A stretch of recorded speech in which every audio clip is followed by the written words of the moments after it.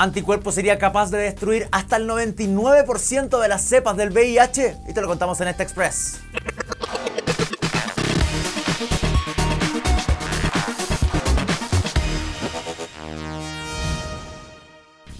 Esta es una magnífica noticia porque los avances de la cura del VIH o el virus del SIDA van viento en popa. Y esto porque si bien el histórico problema de este virus es que muta muy rápido y los fármacos no pueden combatir en su totalidad todos los cambios, biólogos del Instituto Nacional de Salud de Estados Unidos y la firma farmacéutica de Europa Sanofi presentaron el descubrimiento de un anticuerpo que puede ser capaz de destruir hasta el 99% de las cepas del VIH.